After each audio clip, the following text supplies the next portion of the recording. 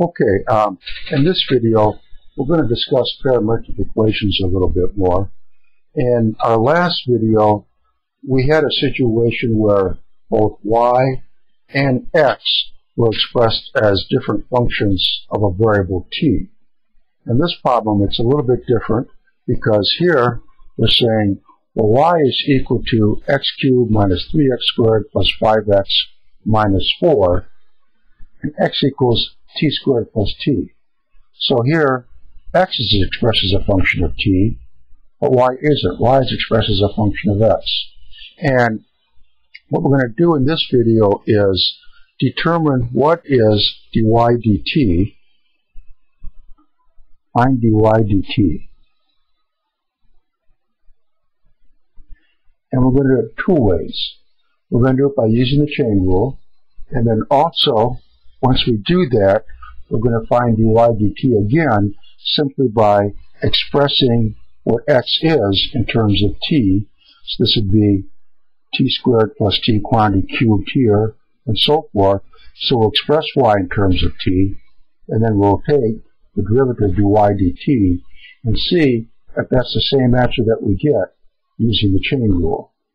So the way the problem is set up right now we can find out, just by looking at the equations, we can easily enough find out what dy dx is. And from here we can easily enough find what uh, dx dt is.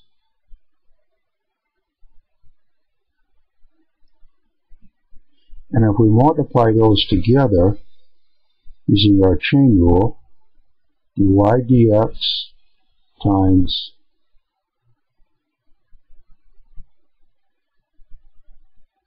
dx dt, you can think of these as canceling out, and we're taking the derivative of dy dt. So, let's do that and get an expression for dy dt. Then what we'll do is, after we get this expression using our chain rule, we'll go back, look at the original equation, plug these values in for x, so that y will now be expressed as the variable t, and we'll get an expression for dy dt and see if that's the same one that we derived using the chain rule. So let's see, dy dx.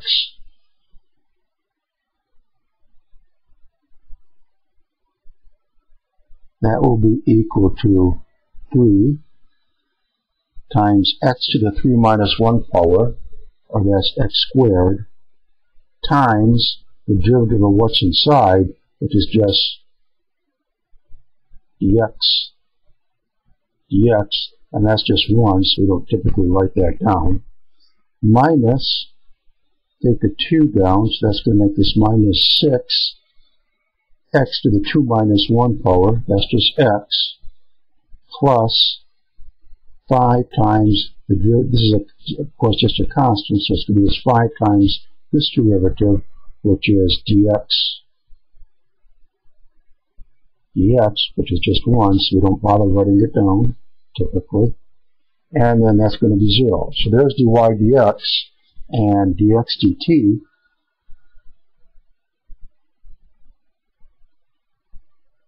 That's just going to be 2 times t plus 1.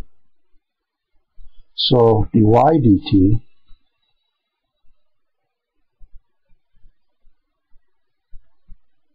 That's going to equal dy dx. That's this times dx dt. But now let's look. So here we have 3 times x squared. This is what x is.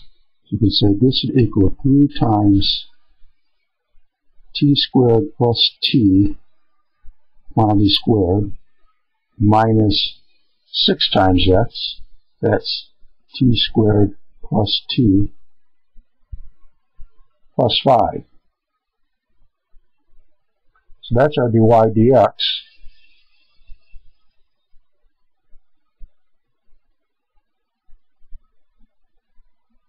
And this has to be multiplied by dx dt. So we'll put brackets around this. So multiplying these two together will give us what dy dt is. Now, let's go back to our original equation. y equals x cubed. So that's going to be this cube. So we have t squared plus t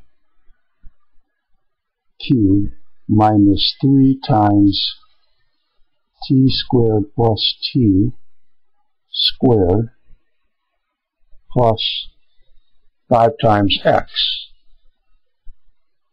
t squared plus And we want to find, we want to get an expression for dy dt.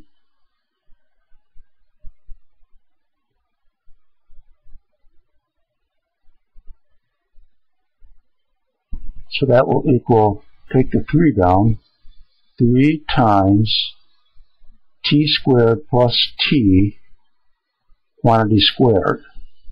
Then we have to take the derivative with respect to t now of what's inside of here. So that's going to be 2 times t plus 1. And here we'll have minus, now we're going to bring the 2 down, so that would be minus 6 times t squared plus 2, t squared plus t to the 1 power, that's just that, times the derivative of what's inside here. So that's times 2t plus 1 plus 5. Now, we can do it like this. This is raised to the first power. So that would be equal to this times 5 times t squared plus t to the zero power. Of course, it's just 1, but we still have to multiply what's inside the brackets here. So this is times 2t plus 1. But since this is to the zero power here, then we can just, and that's a 1, we can write it just like this, plus 5 times 2t plus 1.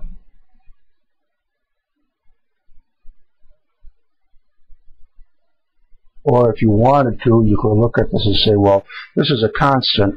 This is going to be times the derivative of this just be 2t plus 1 Either way, it comes out to be the same. But that's our expression for dy dt when we put plugged in this value of x directly into the equation and took the derivative. Here's what we got using the chain rule. And let's see if they're the same. Here we have 3 times t squared plus t times 2t plus 1. We have that. Minus 6 times t squared plus t times this. That's what we have here, plus 5 times this, plus 5 times that. So they come out the same either way. So we kind of to see this um, problem here just to give you a practical example where we could show that the chain rule just hold up to be true.